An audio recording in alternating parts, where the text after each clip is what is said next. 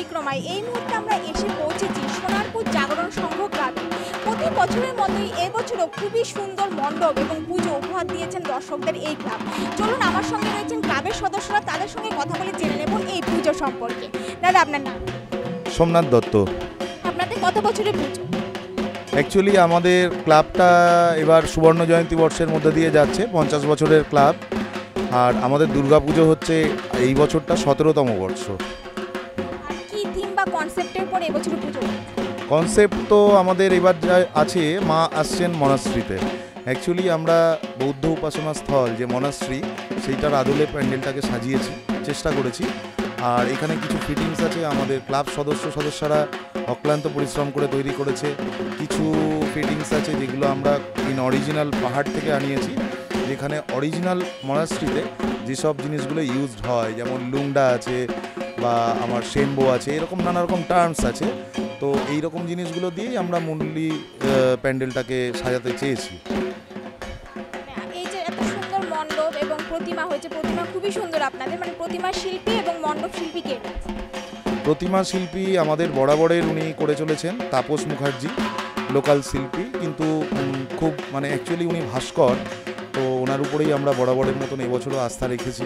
পঞ্চাশ বছর বলে অন্য কোনো শিল্পীর দ্বারস্থ হয়নি, ওনার উপরেই আমরা আস্থা রেখেছি।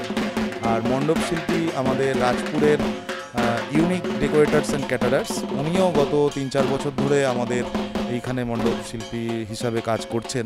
আমরা ওনার কাজে স্যাটিসফাইড, এই জন্যই ওনাকে এই বছরও সুযোগ দিয়েছি।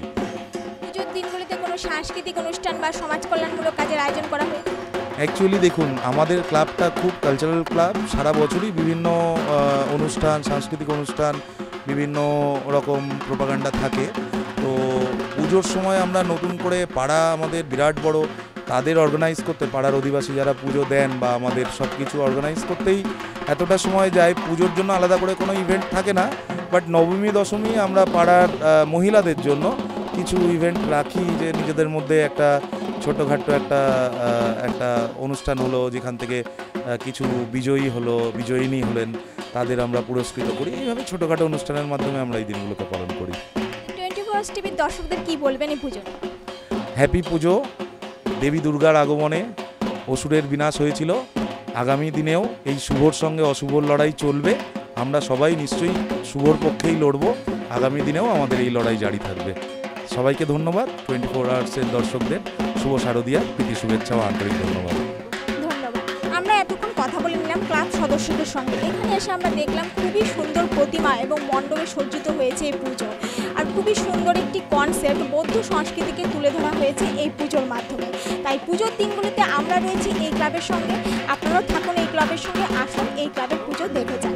টোয়েন্টি ফোর আওয়ার্স টিভি শারদ সম্মান দু হাজার সতেরোয় এই বছরের শারদ সম্মান পুরস্কার অধিকার করে নিল সোনারপুর জাগরণ সংঘ। পুরস্কার তুলে দিচ্ছেন আমাদের প্রতিনিধি ক্লাব সদস্যদের হাতে।